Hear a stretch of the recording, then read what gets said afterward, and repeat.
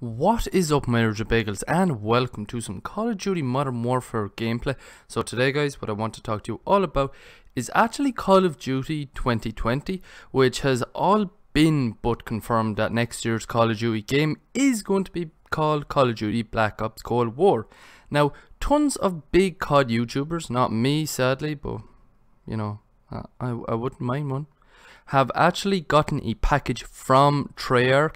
Now it seems like it's your kind of typical wooden box, however it's actually got numbers on it. Now of course each YouTuber have gotten a different set of numbers and these numbers then are used to text a number which will give them a code to unlock the package and that package then will be live streamed and opened on these YouTubers' channels to see what is inside. Now, they will be live streaming. When will it happen? It will be happening at 5 p.m. Ireland or England time, and then I think over in America it's like 12 p.m. EDT, which I don't know because I just not accustomed to that time.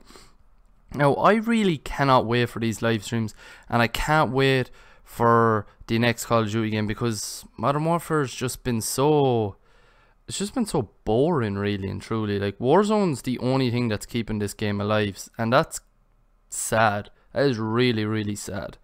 Now players have noticed on warzone if you are in a match it actually seems like your game interrupt is like interrupted for a brief second. If you blink of course it'll be gone saying know your history now this is kind of a weird message to have.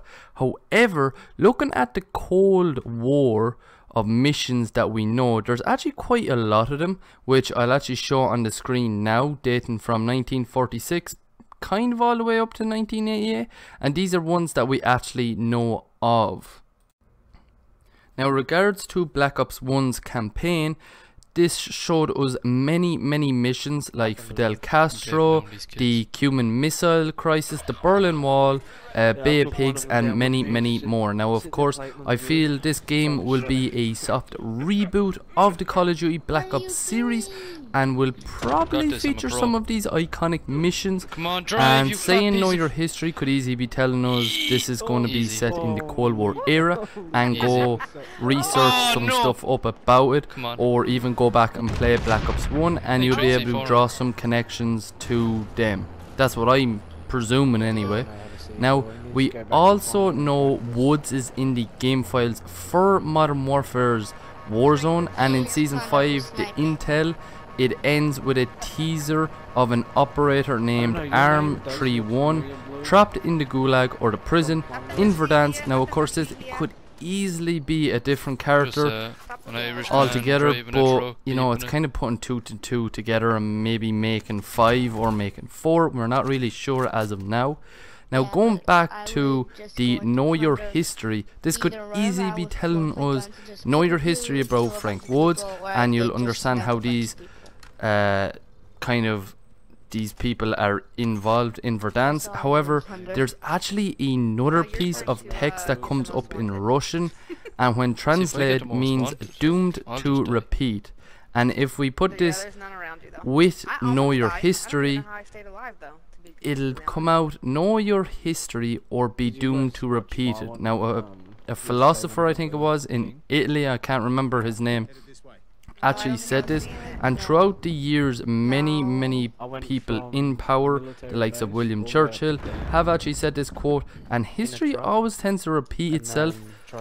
Now, this is true. So, could we see something like the zombie storyline happen where you could go back in time and stop or change certain events hap from happening or or let them happen. You never really know. So does this mean that there's going to be kind of multiple choices that you can make and from these choices will give you a different outcome and from these outcomes then could give us a different ending maybe somehow i'm not really sure i kind of hope not i kind of want a linear uh, storyline because they're just the best something that i also feel is weird Oh, is that him cracked as some well. of it is in russian however so is it really that weird? right now. Like, keep in mind, loads of things in Verdansk is in Russian, and both America and USSR were basically the main two people in the Cold War. So it kind of makes sense that way. And of course, now we have Verdansk, you have the Russians in there, and you have the Americans in there. Legion, Coalition, and now you have Shadow Company. So, you know, it kind of makes sense. Now, there were, there was also some more data mined, uh, kind of interrupted images or glitched images in the files that actually had kind of another one that said active measures in Russian and actually had the USSR logo behind it, the little sickle and the hammer. So who really knows what will be happening? Like these are just kind of things that I've been put together. I'm not really sure if other people have or not. I say other people have as well, but these are kind of just my ones. Of course, other people probably have different ones, but these are just mine. But I hope you guys did like it. If you did, please hit the like button.